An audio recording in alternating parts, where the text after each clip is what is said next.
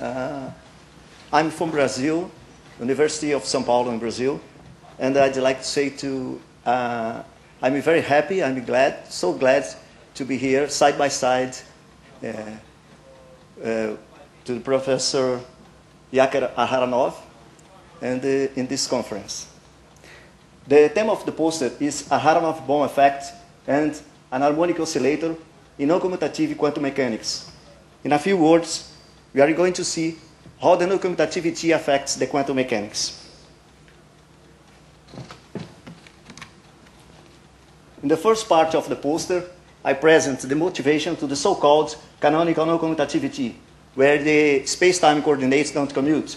Theta min e, theta min e is a constant antisymmetric matrix with dimensions, uh, bidimensions length square. Uh, in equation 2, I show how the Moyal product or star product works. Uh, using, uh, in a relativistic situation, I use the Dirac equation in the non-commutative Aharonov-Bohm potential uh, given by the equation 3. The, the star product acts only between, in this equation, between ami and psi. Uh, in equation 5, I show the no commutative Aharonov-Bohm potential and two Forciodi in theta and uh, two small flux. This expression is obtained from 5, uh, imposing there is no magnetic field outside of solenoid. F12 equals 0. Uh, after some, some calculations, uh, I use perturbation theory and uh, in the Born approximation, um, with the parameter, the perturbation is theta. Uh, using the Born approximation, I calculate the scattering amplitude. This derivative operates in this function here. And uh, I change this, this eigenfunction to the, magnetiza the magnetization via Berry methods the u by psi given by 9. After a lot, a lot of some calculations, I obtained the differential cross section, the contribution, the contribution to the non-commutativity, to the differential cross section, and the total cross sections. Uh, when the theta goes to zero, the uh, usual commutative quantum mechanics is the usual commutative cross-section, etc., is recovered.